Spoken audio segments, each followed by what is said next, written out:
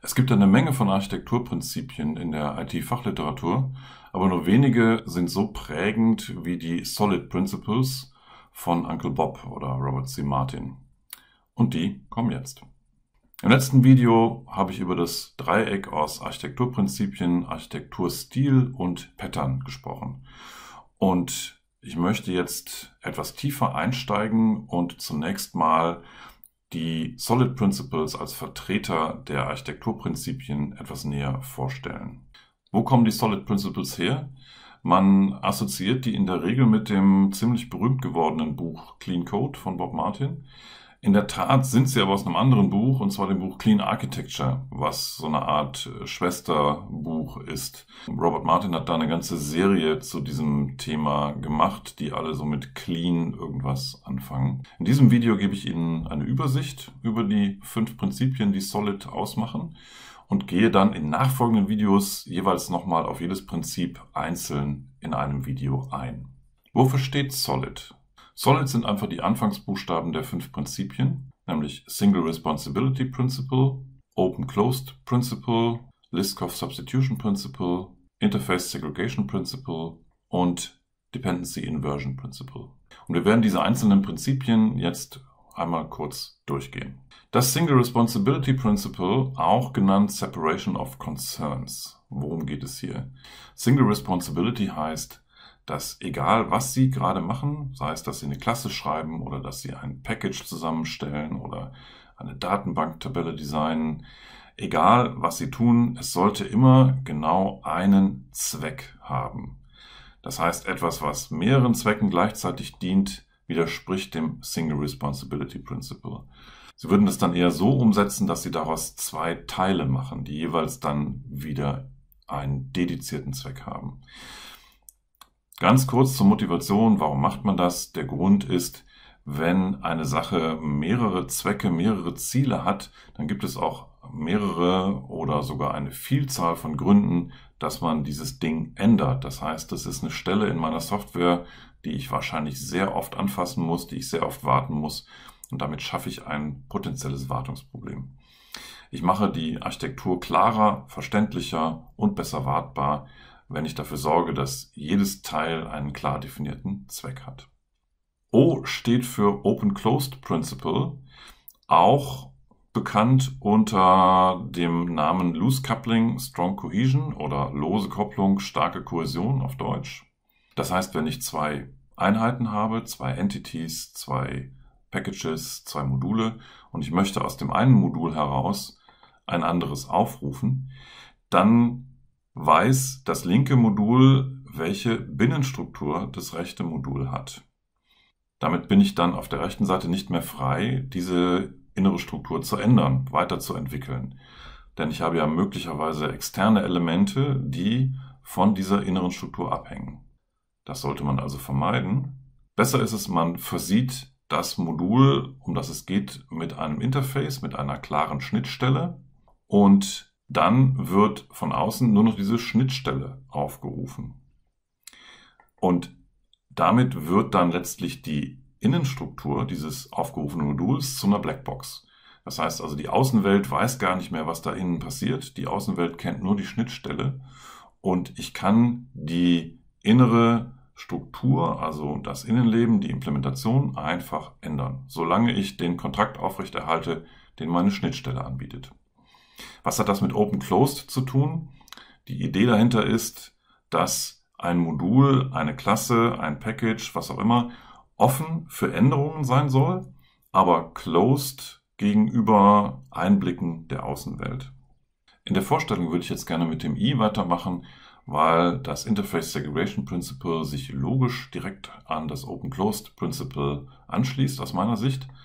Wenn Bob Martin das so rum gegliedert hätte, dann hätte das Wort soiled geheißen, was auf Englisch so viel heißt wie verdreckt. Also wenn man sich noch ein E zwischen dem L und dem D dazu denkt. Nicht ganz so schön als Abkürzung, deswegen ist er wohl bei solid geblieben. Machen wir nichtsdestotrotz mit dem I weiter. Interface Segregation Principle, was heißt das?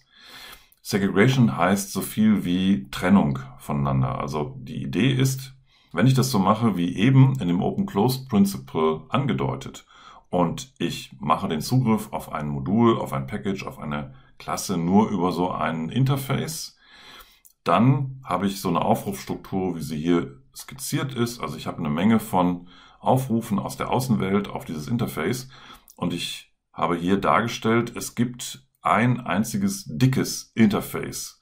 Das heißt also, dieses Package oder dieses Modul stellt ein großes Interface mit all seinen Funktionen nach außen zur Verfügung.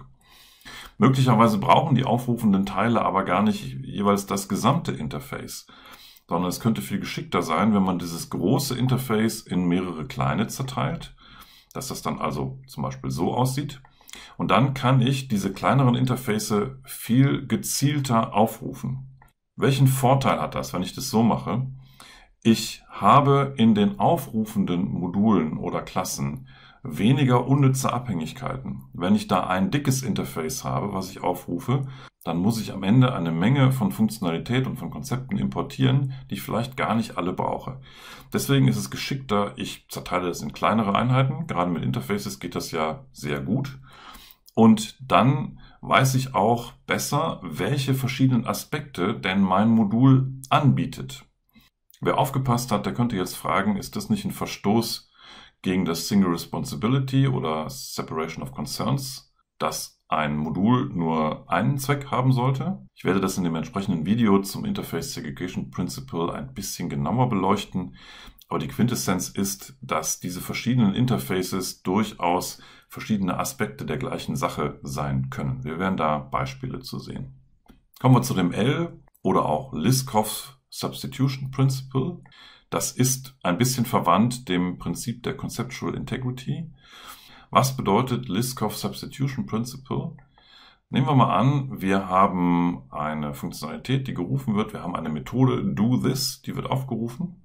Und ich kann ja in Hochsprachen mit Vererbung arbeiten. Das heißt, ich kann unter Umständen eine Klasse ableiten von der oberen, die auch do this implementiert. Und das Liskovsche Substitutionsprinzip oder Liskov Substitution Principle besagt, dass diese abgeleitete Implementierung nicht den Kontrakt einfach so ändern darf, den die Methode, die in der oberen Klasse angegeben ist, darstellt. Wir werden auch dazu in dem Video, was noch kommt, ein Beispiel sehen. Was hat das mit Conceptual Integrity zu tun? Konzeptuelle Integrität heißt im Prinzip, ich gebe in der oberen Klasse eine bestimmte Sicht nach außen, einen bestimmten Kontrakt und diesen Kontrakt, den muss ich einhalten, egal welche Implementierung, welche Ausprägung dieses Konzepts ich irgendwo vorfinde, also welche Subklasse ich gerade habe. Kommen wir zu dem komplexesten Prinzip, dem Dependency Inversion Principle. Man kann auch sagen, dass das eng mit dem Dependency Injection Pattern verbunden ist. Nehmen wir wieder die Situation, die wir eben schon hatten. Wir rufen von außen eine Methode auf, nämlich do this. Dann würde ich im Wesentlichen Folgendes tun. Ich würde erst create aufrufen, also so einen Konstruktor rufen und würde dann do this auf der so erzeugten Klasse rufen. Das hat zum Nachteil, dass ich dann die konkrete Implementierung, also etwas, was sich wahrscheinlich häufig ändern wird, direkt in meinen Code eingebunden habe. Und wer aufgepasst hat, der wird wieder den Gedanken finden, den wir auch schon im Open-Close-Principle gesehen haben. Eigentlich wäre es schöner, wenn ich eine Abstraction rufen könnte, also im Allgemeinen ein Interface. Von dieser Abstraction leitet sich dann die Concretion ab, die Konkretisierung. Die Abstraktion ist im Prinzip nur die Spezifikation meiner Schnittstelle ohne eine Implementierung. Die Konkretisierung, die Concretion ist das, was wirklich die Implementierung darstellt. Und wenn ich dann noch dafür sorge, dass die Erzeugung dieser konkreten Klasse und das Setzen der Klasse in dem Aufrufer delegiert werden kann an ein Framework, was eben genau diese Instanzierung macht und eine Injection in den Aufrufer, dann habe ich das erreicht, was der Name dieses Prinzips nahelegt. Ich habe nämlich die Abhängigkeiten umgekehrt. Das heißt also, nicht mehr der Aufrufer kennt die konkrete Klasse, sondern die konkrete Klasse kennt den Aufrufer. Und wenn man ein bisschen darüber nachdenkt, was wir in Softwaretechnik bis jetzt gemacht haben, womit wir uns auseinandergesetzt haben, wenn man über Spring nachdenkt, dann erkennt man, dass Spring genau das tut. Spring ist also im ganz Wesentlichen ein Dependency Inversion oder auch Dependency Injection Framework.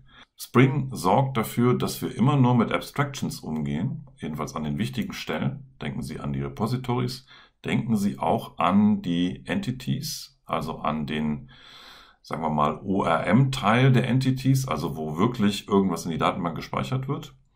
Und denken Sie an viele Hilfsklassen aus Spring. Und Spring sorgt dafür, dass die Concretion, also die konkrete Implementierung hinter den Kulissen gemacht wird. Das heißt also, ich brauche das dann im Idealfall gar nicht zu kennen, sondern ich habe das Framework, was mir für die Konkretisierung verantwortlich ist und ich kann ausschließlich diese Abstraktion benutzen aus meinem Code heraus.